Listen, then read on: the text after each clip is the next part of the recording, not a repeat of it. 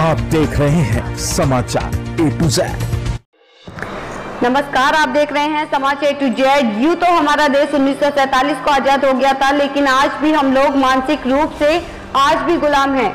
एक तरफ़ देश में क्रांतिकारी बदलाव हुए हैं तो दूसरी ओर देश के कुछ हिस्सों में लोग आदिवासियों जैसा जीवन जीने को मजबूर हैं। जी हाँ हम बात कर रहे हैं जनपद उन्नाव की उस पावन धरती की, जहाँ कलम और तलवार दोनों के ही धनी वीर सपूतों ने देश को आज़ाद कराने के लिए अपने प्राणों की आहुति दे डाली। जिन गाँव में विकास की गंगा बहनी चाहिए, उन गाँव में टेंड्रियों का दूषित पानी बहता है। ऐसे में समाचार टू जेड की टीम ने एक मुहिम छेड़ी, जिन गाँव में बिजली पानी की समस्या होगी, उसको प्रमुखता से दिखाएगा।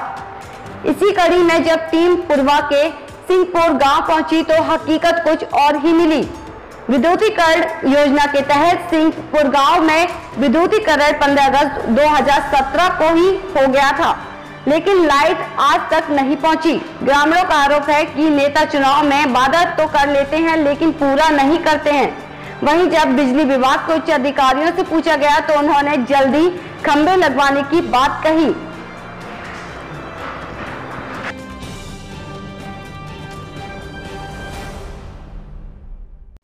क्या नाम है आपका? अजय सिंह। अजय सिंह। क्या करते हो? खेती। गाँव में बिजली है? बिजली नहीं नंबर ये जो खंभे लगे हुए हैं कब लगे थे? पंद्रह अगस्त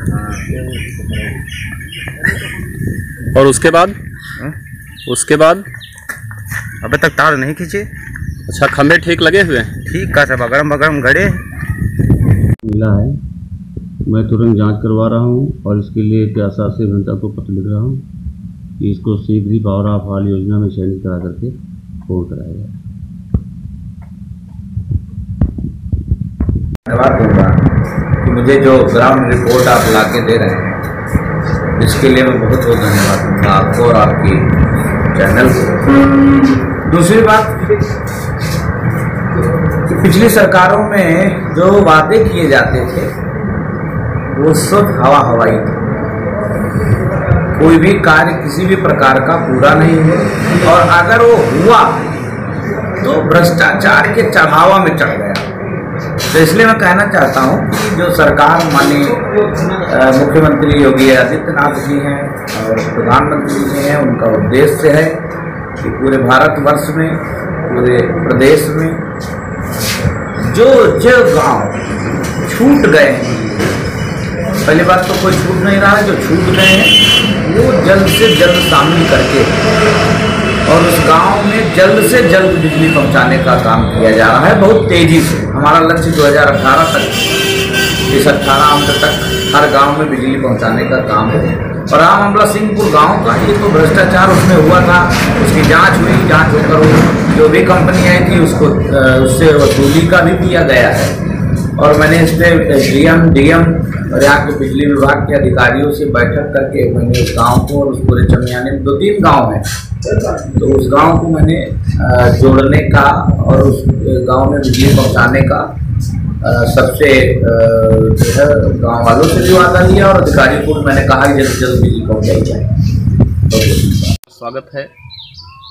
हम जनपद उन्नाव के पूर्वा विधानसभा की चमियानी ग्राम सभा का एक ऐसा मजरा सिंहपुर है। वहाँ पर खड़े हैं। और हमारे पीछे देख सकते हैं तमाम सारे ग्रामीण हैं। और ग्रामीणों का जो दर्द है वो हम उन्हीं की जुबानी से सुनना चाहेंगे।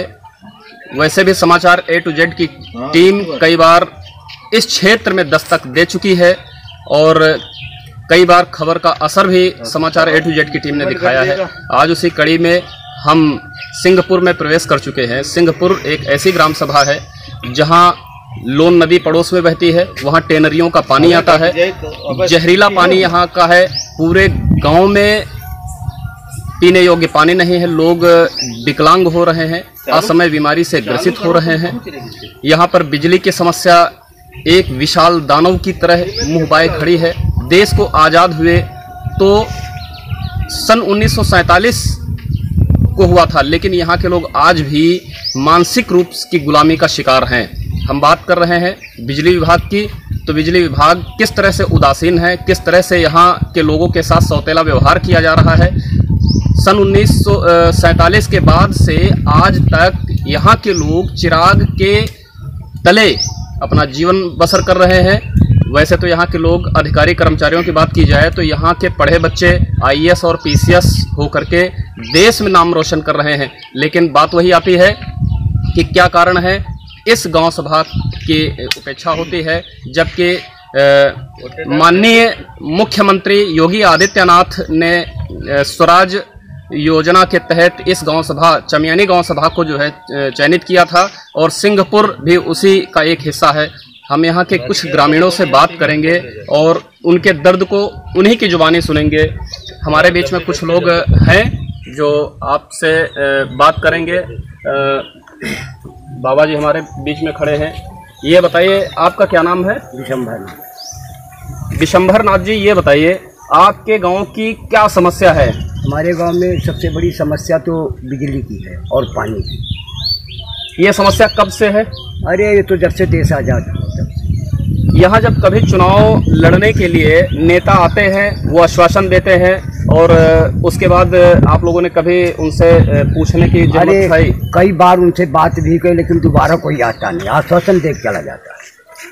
तो अभी आपने देखा है कि यहाँ के लोगों के साथ जो सौतेला व्यवहार हो रहा है यहाँ स्त्री पुरुष बच्चे जब भी कोई मीडिया का कर्मी आता है तो उसको ऐसी निगाहों से निगाहों से देखते हैं कि जैसे कि हम अपनी पीड़ा उनको बताएँगे तो वो शासन प्रशासन तक जाएगा तो शायद उनकी पीड़ा को लोग सुनेंगे और शायद समाधान होगा। इसी बीच में हम अगले दादी जी हमारे पास खड़ी हैं। हम उनसे पूछना चाहेंगे कि क्या कहना चाहेंगे यहाँ के गाँव की समस्या के विषय में। ये जो बिजली के पोल लगे हुए हैं टूटे पड़े हैं और 15 अगस्त एक साल पहले 15 अगस्त को खंभे गाड़ करके चली गई थी यहाँ की कंपनी और आज तक पलट के नहीं देखा है। क्या कहना चाहेंगी ये जो खंभे लगे हुए हैं? पहले तो आप अपना नाम बताइए। क्या नाम है आपका? मालती। मालती जी ये बताइए क्या समस्या है? ये बिजली के खंभे अब तक कल भैंस गिर गए होते तो वही खंभा हम गिर गए गिर गए कोनो झूठे नहीं बोलन देख ले चाहे देखो। गड्ढा बता दे। देख रहे हैं ये तो खैर भैंस है यहाँ बच्चे भी गिर के चोट खा सकते हैं और इन तमाम सारे जो अपवाद हैं इन सब का जिम्मेदार कहीं न कहीं शासन प्रशासन है। हम अपने समाचार चैनल के माध्यम से शासन को अवगत कराना चाहते हैं कि अगर समय रहते ये जो समस्याएँ हैं, इनको अगर नहीं दूर किया गया तो शायद ये लोग जो है आज़ादी का जो ढिंडोरा पीट रहे हैं, ये वाकई जो है यहाँ गाँव में, कस्बों में आज भी जो है लोग चिराग तले अपना जीवन यापन कर रहे हैं।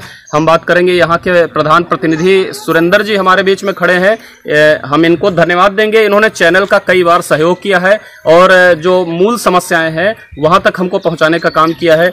सुरेंद्र जी, सबसे पहले तो हम आपको धन्यवाद देंगे। आप ऐसे निष्ठावान प्रतिनिधि हैं जो कि जो जन समस्याओं के लिए आप हमेशा खड़े रहते हैं।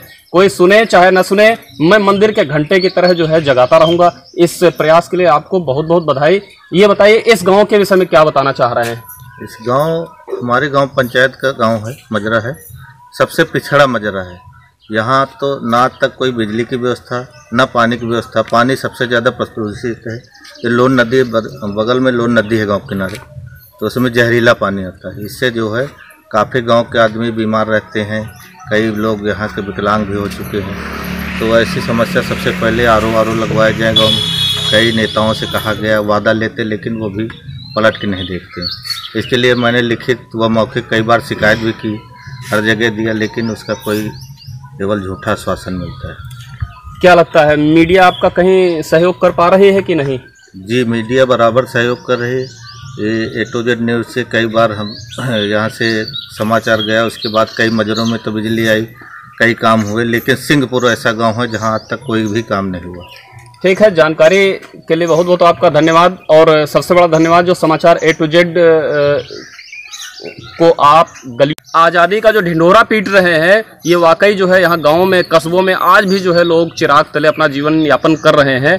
हम बात करेंगे यहाँ के प्रधान प्रतिनिधि सुरेंद्र जी हमारे बीच में खड़े हैं। हम इनको धन्यवाद देंगे। इन्होंने चैनल का कई बार सहयोग किया है और जो मूल समस्याएँ हैं, वहाँ तक हमको पहुँचाने का काम किया है। सुरेंद्र जी, सबसे पहले तो हम आपको धन्यवाद देंगे। आप ऐसे निष्ठावान प्रतिनिधि हैं जो कि जो जन समस्याओं के लिए आप हमेशा खड़े रहते हैं। कोई सुने चाहे न सुने, मैं मंदिर के घंटे की तरह जो है जगाता रहूँगा। इस प्रयास के लिए आपको बहुत बहुत बधाई। ये बताइए, इस गाँव के विषय में क्या बताना चाह रहे हैं? इस गाँव, हमारे गाँव पंचायत का गाँव है, मजरा है। सबसे पिछड़ा मजरा है। यहाँ तो ना तक कोई बिजली की व्यवस्था, न पानी की व्यवस्था। पानी सबसे ज़्यादा प्रदूषित है। ये लोन नदी बगल में लोन नदी है गाँव किनारे। तो उसमें जहरीला पानी आता है। इससे जो है, काफ़ी गाँव के आदमी बीमार रहते हैं। कई लोग यहाँ के विकलांग भी हो चुके हैं। तो ऐसी समस्या सबसे पहले आर ओ आर ओ लगवाए जाए गाँव में।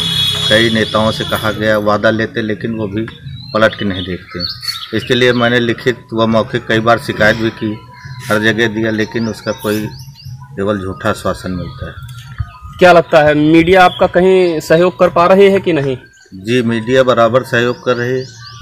ए टू जेड न्यूज़ से कई बार हम यहाँ से समाचार गया उसके बाद कई मजरों में तो बिजली आई कई काम हुए लेकिन सिंहपुर ऐसा गाँव है जहाँ आज तक कोई भी काम नहीं हुआ। ठीक है जानकारी के लिए बहुत बहुत आपका धन्यवाद और सबसे बड़ा धन्यवाद जो समाचार ए टू जेड को आप गलियों में लेकर के आए हैं, गाँव में लेकर के आए हैं, कस्बों में लेकर के आए हैं, उसके लिए आप समस्या तक हमको पहुँचाने का कार्य कर रहे हैं। इसके लिए आपको बहुत बहुत धन्यवाद। और अभी आप देख सकते हैं कि ये कोरा छलावा, योगी जी, ये आपकी प्रजा है।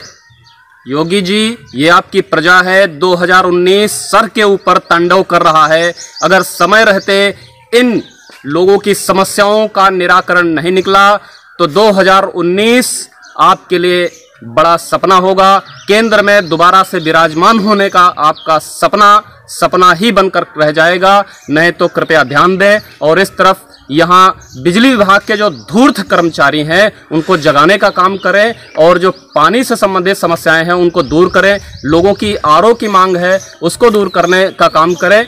नहीं तो वो दिन दूर नहीं है, जो कि 2019 का जो ये भारतीय जनता पार्टी का जो बड़ा सा बेड़ा है, जो बड़ा सा नाव है, इस पर आखिरी कील ठोकने का काम यही जनता करेगी, यही जनार्दन करेगी। यानी तमाम सारी जानकारियों के लिए मैं धीरेन्द्र सिंह पवन, समाचार ए टू जेड के लिए उन्नाव।